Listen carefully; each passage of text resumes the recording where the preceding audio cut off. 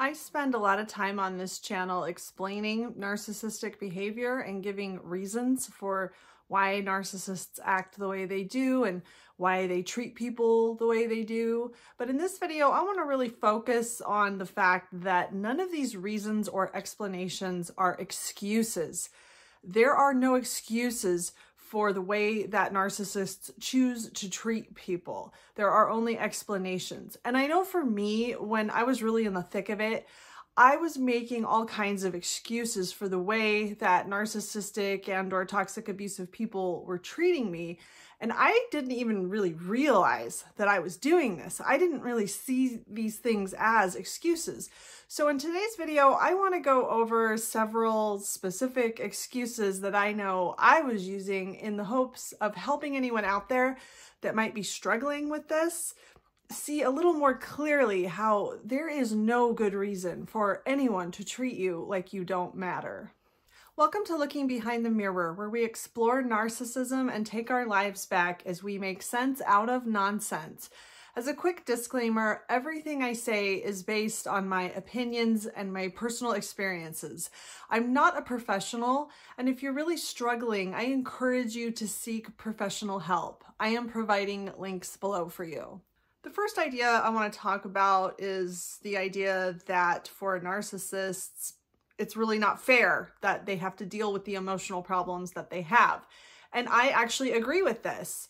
Narcissists have a much more difficult time treating people with respect than your average person and it's not fair. It's not fair that narcissists have to deal with huge emotional roadblocks um, and that they feel compelled to be in denial of reality and that they are in constant anguish and pain and anxiety and all these things. It's not fair. But that doesn't mean that they aren't accountable. And I want to compare this in order to try to clarify what I mean. I want to compare this to maybe somebody who has type 1 diabetes. If you have type 1 diabetes, that is not fair. It's not your fault. It's nothing that you asked for, but you're still accountable and responsible for managing it. You still have to take the responsibility of monitoring your diet, managing your diet in whatever way you need to, of taking your insulin and doing these things diligently. And it's not fair that other people don't have to do that. It's not fair that other people can just eat whatever they want and not have to worry about it. But that doesn't mean that you just get off the hook for it. You're accountable. You're responsible for the unique struggles that you have. And narcissists are no different. It's just that with narcissists, when narcissists refuse to take accountability for their unique struggles, it hurts other people.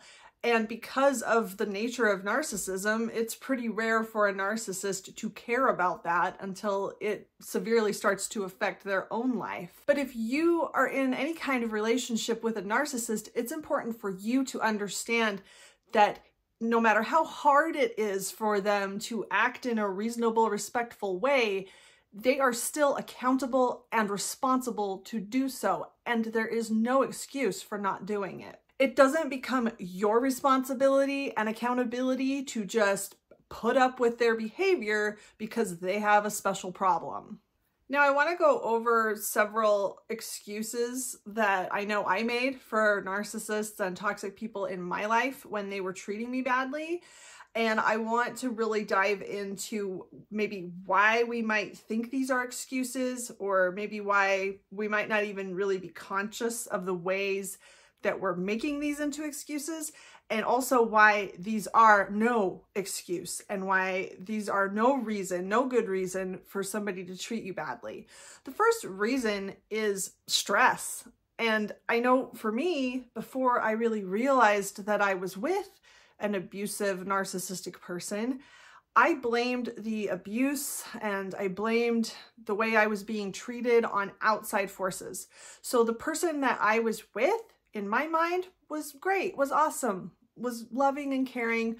And it wasn't his fault that this situation was stressing him out or he was dealing with this other thing that, you know, we just needed to get through. Of course, you know, he's his temper is going to be a little harder for him to control. He's going to get frustrated a little quicker. He's not as patient because he's so stressed out. And it's not his fault. This is me talking to myself. It's not his fault. It's this outside situation that's making him act this way. And as soon as this stressful thing is taken care of, dealt with, he'll go back to the way he was before and everything can be normal again and, and everything will be fine. First of all, there will always be stressful situations in life. That's all life really is, is a series of stressful situations. So if you're with somebody that is treating you badly because they're stressed out, that's never going to end. If that's uh if that's a reasonable excuse to treat you badly, well, I guess they're going to treat you badly for the rest of their life because life is full of one stressful event after another. It's not like after this one stressful event is finally taken care of and dealt with, there's never going to be another one in the future. I kind of don't really know why that never occurred to me. I, I guess when you're being abused um, and you're in that kind of uh, traumatic situation, you're really living in the present moment. You're really just living minute to minute and you're not thinking about next year or three years from now. You're just trying to get through this situation you're in. So if anybody out there is dealing with that, hopefully that can help you kind of break that mental cycle of thinking that this one situation just needs to be dealt with and then everything will be fine. No, if somebody's using the excuse that they are stressed out or if you're using that excuse for them, well, what what excuse are you going to use next time something is stressing them out? And also, I know for me, when this person was abusing me and treating me badly because they were stressed out, that stressed me out. That caused an enormous amount of stress for me. So how come it wasn't okay for me to start treating them badly or for me to start taking that out on somebody else? And I think this is a good example of the way that some of us might take the responsibility of somebody else's behavior onto ourselves. Like it's our job to just put up with this person's horrible behavior because they're stressed out. And of course, it's also our job not to take that out on somebody else. So we're taking on our responsibilities and the responsibilities of someone else. And really, when we do that, we are neglecting the responsibility that we have to take care of ourselves. And I also just want to point out that nobody has the right to use you as an emotional punching bag because they're stressed out. Grown up adults are responsible to control their behavior when they are stressed out or frustrated. Being stressed out and frustrated does not give anyone the right to treat somebody else poorly, ever. It's not okay, even for a second. And if they do that once, they will do it again and again and again because somehow they think it's okay. Another really common excuse that we might give to abusive people is that they had a bad childhood or they had some really traumatic experience they went through or maybe they had a really bad past relationship that really hurt them and affected the way that they um, act in current relationships. And these excuses might be real reasons. Somebody with a bad childhood or really traumatic past events, those might be the, the actual real reasons that they treat you badly. But that doesn't make it okay. That's not an excuse they are responsible to deal with their past problems and with their emotional problems without hurting other people. And if they can't do that, it's not your responsibility to let them use you as an emotional punching bag for the things that happen to them. I mean, that's probably what happened to them. They were probably someone at one point that was being the punching bag for somebody else that couldn't deal with their problems in a healthy way. And so now they're just passing that along. And that's not okay. Where does that stop? Grown adults are responsible not to punish other people for what someone else did to them. And I think with narcissists, this is an especially bad problem because narcissists don't recognize your individuality or your autonomy. So if somebody hurt them, they really feel like they have the right to lash out at the rest of the world because the rest of the world is just is just this big glob of uh, one big huge entity that is somehow out to get them. So they don't see you as an individual person that has treated them well. They just see you as a reflection of themselves and as a piece of this great big glob that they have a right to lash out at against because they've been through enough already. So why should they have to be nice to you when the world has been cruel to them? So if you are somebody stuck in a situation like this where you're with someone who has had some terrible things happen to them in their past and that is causing them to act inappropriately now and they are not taking accountability for that, I want to first point out that somebody that treats you like garbage because of what someone else did to them doesn't appreciate you letting them do that, um, especially a narcissist. A narcissist does not appreciate anyone for anything, but especially not somebody that is allowing them or enabling them to treat them like crap. So they, they're not grateful to you for just putting up with their garbage. They feel entitled to hurt you. And when they're hurting you, they're angry. They're lashing out at you. They're not feeling any kind of positive emotions. They're, they're not thinking, wow, look how much this person loves me. They just let me treat them like crap. No, they're treating you like crap because they are focusing and projecting their anger onto you. And when you allow their past to be an excuse for this, or when you feel guilty at the thought of leaving them or holding them accountable because of their past, because of the pain that they've experienced, I really want you to stop and think about what it is you're trying to do. Are you trying to help them? Because this doesn't help them. When you allow someone to treat you badly because you feel bad about what they've been through, you are enabling them to continue along in a self-destructive pattern of behavior. So you are enabling them to continue avoiding accountability uh, for their own problems. You are enabling them to avoid processing their emotional problems. So you're actually, in a way, harming them by enabling them to continue acting this way and continue denying their reality. So you are not helping them. They do not appreciate what you're doing. And you're, of course, harming yourself by doing this.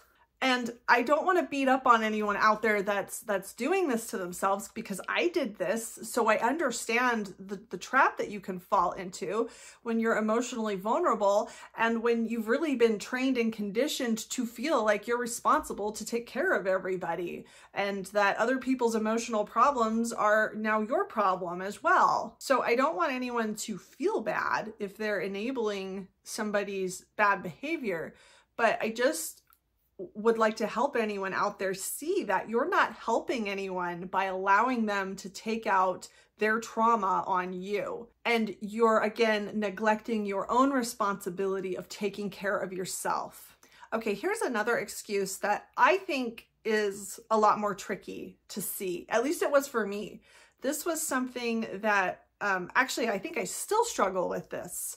And that is the idea that the narcissist, quote, has a point um, if the narcissist is yelling and screaming at you, or if they're carrying out a smear campaign, or if they're giving you the silent treatment, or whatever abusive uh, behavior they're directing at you, they're not completely out of line because you did do some awful thing. You know, you did ignore them when they were talking to you, or or um, maybe you really did do something awful.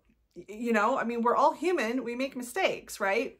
And I think it's easy for a lot of us to allow the narcissist to to tell us that we deserve to be treated badly because of something bad, quote, bad that we've done or or something that we feel ashamed of. So let me just say that no matter who you are, no matter who you are watching this video right now, I'm sure that you have done things in your past that hurt other people. You have done things that you probably shouldn't have done. And I don't care what those things are.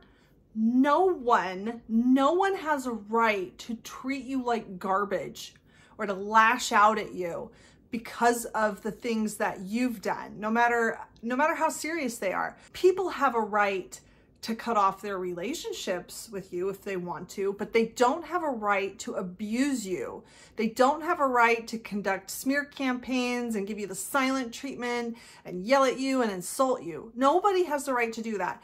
And narcissists will find whatever thing you've done, and I know because you're human listening to this video, that you have done things that you regret, that you have made mistakes, and that you've hurt people. And a narcissist will take whatever that is and they will punish you for it. They will use that as an excuse to hurt you, to harm you, to lash out at you, to criticize you, to shame you. And it's so easy to fall into the trap of thinking, well, I did do this awful thing. Well, maybe I deserve to be treated this way because I shouldn't have done X, Y, or Z. But if you use this reasoning to excuse somebody's choice to abuse you, then no human being on the planet should be walking around not being abused by somebody, right? This is why in most countries, you can't just lash out at someone and attack them, assault them, or whatever, and then use the defense that they did something really rotten to you. You know, last month they slashed your tires, or last month they cheated on you. It doesn't work that way you are responsible and accountable for your behavior, and the narcissist is accountable and responsible for the way they treat you, no matter what excuses they use to justify their behavior. No one has a right to treat you like garbage ever, no matter what you've done. And one more excuse I want to talk about is the idea that that's just the way they are you know, when you're with somebody who's always yelling at you or just sits and sulks or makes life really difficult for no reason, well, that's just their personality. That's that's just the way they are. And you know, you can choose to accept somebody the way they are if you want to, but that doesn't make their behavior acceptable and it doesn't make them not accountable for their choices to be abusive, toxic, and cruel. It's like if you get pulled over for speeding, you can't use the defense of like, you know, I just I just really hate driving slow. It's just my personality. I just really can't stand it and I just have to drive fast. It doesn't work because it doesn't matter. It doesn't matter what your personality or your preferences are. You are responsible and accountable to behave in a certain way. When we use the excuse of, you know, that's just someone's personality, that's just the way they are, this might be acceptable if we're talking about somebody who doesn't like to talk on the phone or somebody that doesn't really like going out or doesn't really like to travel or maybe somebody who doesn't want to try new things, just eats the same thing every day and doesn't want to try new restaurants or doesn't want to listen to new music or whatever. Like personal preferences that might be a little annoying to you, that's somebody just being themselves, right? But somebody just being themselves isn't somebody lashing out at you, using you as an emotional punching bag, losing their temper and harming you, emotionally hurting you. That's not somebody just being who they are. That's somebody who's not taking accountability for their own behavior, behavior that they are responsible to take accountability for, and it's not okay. So like I said in the beginning of the video, I do believe that narcissists have incredible emotional struggles that cause them to want to lash out and punish other people. And I don't think that's fair. I think it's awful that narcissists struggle with the things they do.